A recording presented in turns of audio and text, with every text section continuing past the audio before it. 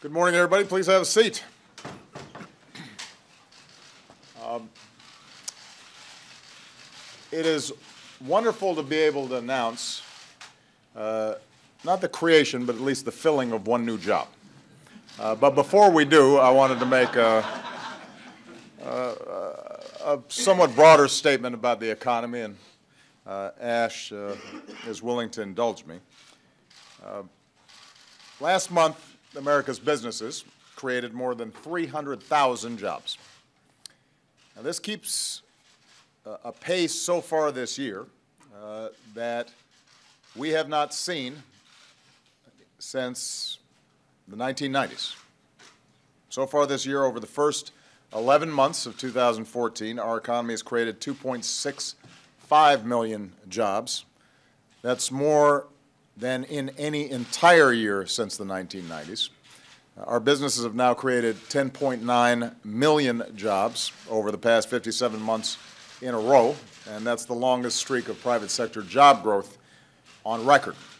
Uh, we also know that the pickup in the pace of job growth this year has been in industries with higher wages, and overall wages are rising, a very welcome sign for millions of Americans. So we've got an opportunity to keep up this progress if Congress is willing to keep our government open, uh, avoid self-inflicted wounds, uh, and work together to invest in the things that support faster job growth in high-paying jobs. And that means exports, infrastructure, uh, streamlining our tax code, immigration reform, giving minimum wage workers a raise. It's been a long road to recovery from the worst economic crisis in generations, and we still have a lot more work to do to make sure that hardworking Americans' wages are growing faster. But the United States continues to outpace most of the world. Over the last four years, we put more people back to work than Europe, Japan, and all other in industrialized advanced countries combined. And we're going to keep at it until every single American uh, who is willing and able to work uh, can find not just any job, but a job that pays a decent wage and allows them to support their families. Uh, but it's worth us every once in a while reflecting on the fact that the American economy is making real progress.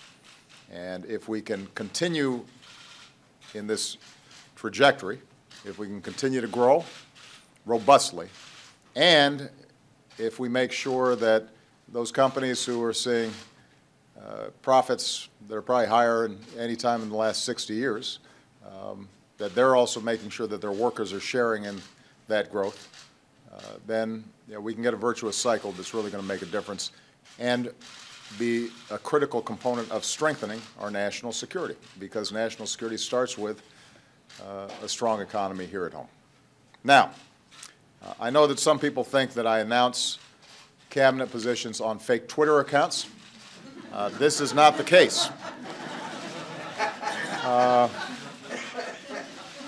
a year ago, when Ash Carter completed his tenure as Deputy Secretary of Defense, uh, Secretary Hagel took to the podium uh, in Ash's farewell ceremony and looked out at the audience of our civilian and military leaders. And he said, I've known Ash Carter for many years. All of us here today have benefited from Ash's hard work, his friendship, from his inspiration, and from his leadership. And Chuck then went on to express his gratitude to his partner for what Ash has done for this country and will continue to do in many ways. Couldn't have said it better myself. Today I'm pleased to announce my nominee uh, to be our next Secretary of Defense, Mr. Ash Carter. Now, with a record of service that has spanned more than 30 years as a public servant, as an advisor, as a scholar, uh, Ash is rightly regarded as one of our nation's foremost national security leaders as a top member of our Pentagon team for the first five years of my presidency, including his two years as Deputy Secretary. He was at the table in the Situation Room. He was by my side navigating complex security challenges that we were confronting. Uh, I relied on his expertise and I relied on his judgment. Uh, I think it's fair to say that, Ash, in your one-year attempt at retirement from public service, you failed miserably. Uh, but I am deeply grateful that you're willing uh, to go back at it. Uh, you know, Ash, as some of you know, brings a unique blend of strategic perspective and technical know-how. As a student of history, he understands the United States, and I'm quoting him now, is the single most provider of security in the world. And he played a key role in devising our defense strategy to advance that security. He's also a physicist, uh, which means that he's one of the few people who actually understand how many of our defense systems work. Uh, and that has also allowed him to serve uh, with extraordinary breadth and also depth in a whole range uh, of work that we've had to do. Uh, in one way or another, Ash has served under 11 Secretaries of Defense. He's an innovator who helped create the program that has dismantled weapons of mass destruction around the world and reduce the threat of nuclear terrorism. He's a reformer who's never been afraid to cancel old or inefficient weapons programs. Uh, he knows the Department of Defense inside and out, which, all of which means that on day one, he's going to hit the ground running. Ash is also known by our allies and our friends around the world. Having served both Republican and Democratic secretaries, he's respected and trusted on both sides of the aisle. He's been a close partner with our military leaders, and he's admired by civilian leaders across the department because he's a mentor to so many of them. There's one other quality of Ash's service that I think often gets overlooked, and that is uh, his true regard, his love for the men and women in uniform and their families, uh, his relentless dedication to their safety and well-being. Uh, when he cut outdated, unneeded systems, he did it because he was trying to free up money for our troops, to make sure they had the weapons and the gear that they needed and the quality of life for themselves and their families that they deserve. When our troops in Iraq and Afghanistan were struggling to defend against roadside bombs, uh, he moved heaven and earth to rush them new body armor and, and vehicles. It's no exaggeration to say that there are countless Americans who are alive today in part because of Ash's efforts.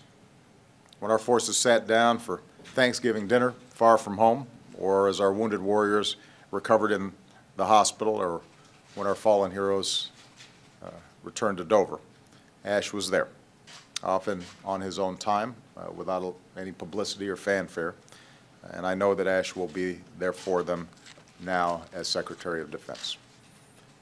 We face no shortage of challenges to our national security. Our combat mission in Afghanistan ends this month, and we have to transition to a new mission of advising and assisting Afghan forces and going after remnants of al-Qaeda's core.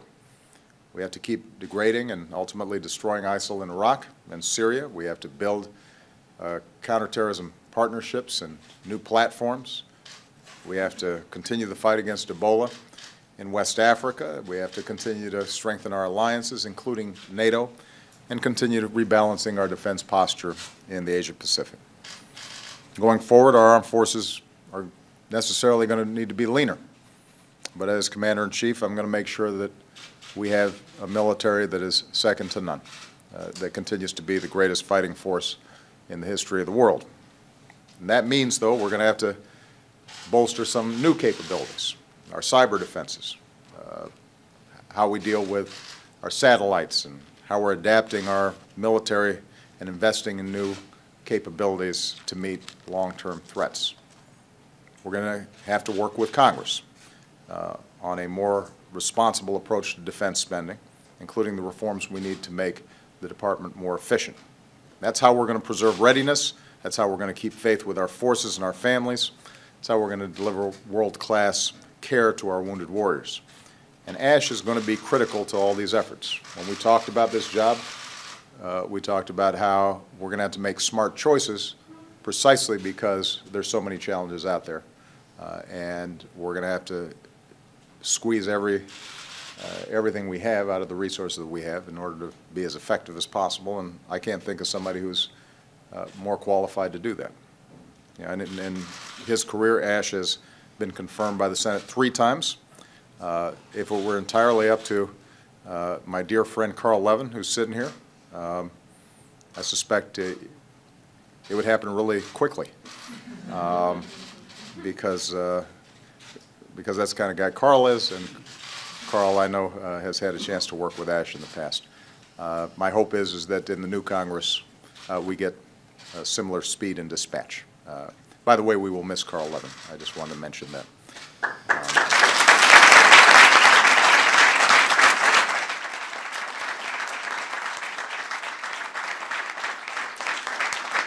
Uh, One last uh, piece of critical information uh, that may have tipped the scales uh, in in me wanting to promote Ash.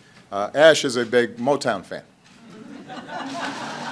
Uh, And one of his favorites is a classic by the Four Tops, uh, Reach Out, I'll Be There. So Ash, I'm reaching out to you. You have been there for us, our troops, our families, our nation. I also know that uh, he's been there for his lovely wife Stephanie, um, sometimes by Skype because he's been traveling. Uh, But uh, the sacrifices that Stephanie's been willing to make, uh, you know, this is a team effort, as it is true uh, for our military families, and so we're very grateful to Stephanie. She joined Ash uh, on a lot of those Thanksgiving trips to see our troops and at the bedside of wounded warriors. Uh, She knows the sacrifices they're going through.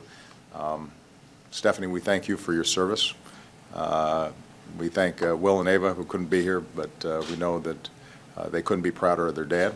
And uh, with that, I want to let, uh, hopefully, our soon-to-be new Secretary of Defense say a few words.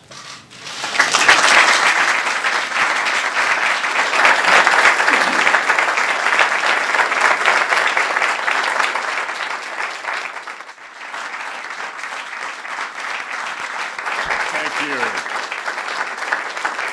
Thank you, Mr. President.